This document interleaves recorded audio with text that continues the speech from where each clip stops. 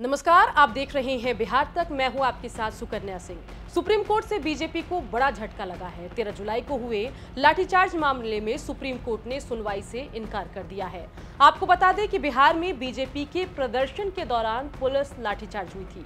उसी दिन बीजेपी कार्यकर्ता विजय सिंह की मौत हो गई थी। विजय सिंह की मौत मामले में बीजेपी पुलिस लाठीचार्ज से मौत का आरोप लगा रही है। अब इस मामले में याचिकाकर्ता की जाँच की मांग वाली याचिका पर सुनवाई से सुप्रीम कोर्ट ने इनकार किया है। इसके साथ ही दायर याचिका पर सुप्रीम कोर्ट ने याचिकाकर्ता को हाईकोर्ट जाने की सलाह दी है। बता दें कि बीजेपी कार्यकर्ता भूपेश नारायण ने इस मामले में 20 जुलाई को सुप्रीम कोर्ट में याचिका दाखिल की थी।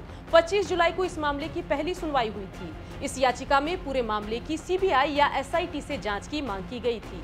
भूपेश नारायण ने इस मामले में सीएम नीतीश कुमार और डिप्टी सीएम तेजस्वी यादव को भी पक्षकार बनाया है, जबकि मुख्य सचिव और डीजीपी के खिलाफ एफआईआर दर्ज करने की मांग की है। इस पूरे मामले में अब सुप्रीम कोर्ट की टिप्पणी आ गई है और सुप्रीम कोर्ट की टिप्पणी के बाद वकील महेश जेठमलानी ने कहा कि 13 जुलाई की घटना है। ऐसे में कृपया हाईकोर्ट को जल्द सुनवाई करने को कह दे।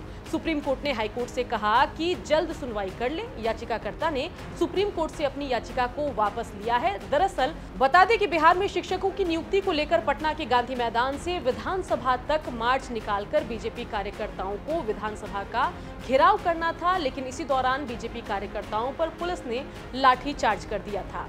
चलिए, अब बताते हैं कि आखिर पूरा मामला क्या कुछ था। दरअसल 13 जुलाई को बीजेपी ने विधानसभा मार्च किया था, शिक्षक भर्ती और तेजस्वी के इस्तीफे की मांग को लेकर बीजेपी ने मार्च किया था। डाक बंगला चौराहे पर पुलिस ने बीजेपी के मार्च को रोका था। मार्च के दौरान पुलिस ने बीजेपी नेताओं पर लाठी चार्ज भी किया था। पुलिस की लाठीचार्ज में बीजेपी के कई नेता सम्राट चौधरी जैसे प्रदेश अध्यक्ष को भी लाठियों का सामना करना पड़ा था। एमपी जनार्दन सिंह सिग्रीवाल भी लाठीचार्ज में घायल हुए थे। इसी बीच बीजेपी ने जिला महामंत्री विजय की मौत का दावा किया। लाठीचार्ज में विजय सिंह की मौत हुई है ऐसा बीजेपी ने दावा किया।